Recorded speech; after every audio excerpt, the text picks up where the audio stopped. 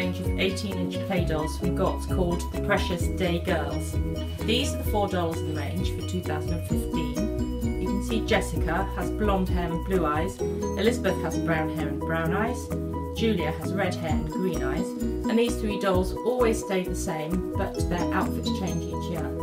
Last year, Gotz introduced Jessica to dress, who's on the far left, and she arrives in her underwear, and then you can get to choose what she actually does wear. The most popular doll in the series is Jessica, so here she is out of the box so you can see her in a bit more detail. She's got a very pretty face, large eyes, and look, they close when she lies down, so younger girls love this feature. She's got beautiful full pink cheeks, carefully painted mouth, and her hair is rooted, which means that it's very, very secure. Good for brushing and styling. And just look at how much hair there is. Absolutely lovely. Gotz hair is really good quality and can even be washed.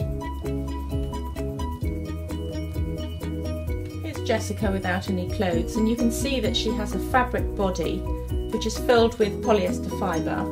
So She's a little bit squidgy to cuddle, but also firmly filled enough that she can stand up on her own. Her head also turns, and her arms and legs are beautifully articulated so that they can be put anywhere and they'll stay put, which is great. Now if Jessica does get a little bit mucky, she can even go in the washing machine, which is really handy. So who do we recommend the Precious Day Girls for?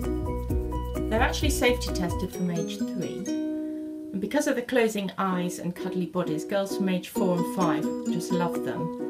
But also older girls love them too because they're so similar to American Girl. And American Girl recommend their dolls for girls of age 8 upwards. So if you were to buy one of these dolls, it would grow up with your little girl. Thanks for watching. I hope you found this video useful.